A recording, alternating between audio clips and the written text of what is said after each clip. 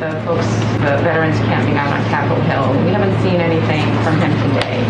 Can you give us a sense of how he's doing um, with having to go back into isolation? I mean, is he, you know, frustrated? Uh, and, and how is he dealing with being away from the First Lady for as long as he's been? Well, the day's still young. You never know. Uh, um, but um, look, the president. I'm just making a joke. Clearly, it was not funny. I will try harder next time to be more funny. Um, but um, uh,